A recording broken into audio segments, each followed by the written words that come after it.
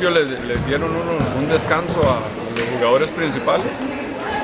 aunque a ellos fueron los que logramos parar en el primero y segundo cuarto, pero ya en el tercero yo creo que eh, ese equipo de Barba está muy bien trabajado la parte física y yo creo que eso es lo que hace la, gran diferencia, lo que es la transición de defensa ofensiva de ellos es bastante fuerte, entonces yo creo que, la gran diferencia estuvo ahí,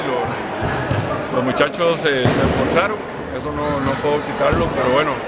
la, misma, la misma intensidad con que marca eh, Barba nos hizo provocar ahí en varios errores que ellos aprovecharon y, de ahí la, la gran diferencia. El asunto ahí es una cuestión de intensidad, ¿verdad? Este, yo le pido intensidad a mi grupo, no es tanto la diferencia de puntos, realmente eso no es, no es mi objetivo, ni, ni meterle un montón al otro, ni, sino lograr mantener una intensidad alta durante el juego. Yo sé que eso nos va a hacer que el equipo contrario se desgaste y que por supuesto que nos va a ayudar a ganar partidos. Eso viene, la intensidad y también le trae pues esa cantidad de puntos que, logran y que jugadores como Fabián Morales, que es un sub-21, también como que se contagie de eso y pueda hacer canastas como hizo al final del juego. Eh, eh, vuelvo y repito, el asunto ahí es, eh, yo salgo satisfecho hoy no tanto por la diferencia de puntos como porque el otro equipo no nos anotó muchos puntos, nos metió 52 puntos. yo les digo a mis jugadores que si queremos o si en algún momento tenemos que ganar 10-0, ganamos 10-0. Lo importante es que el equipo rival no, no, no exactamente, no nos anote mucho punto, que no les sea fácil jugarnos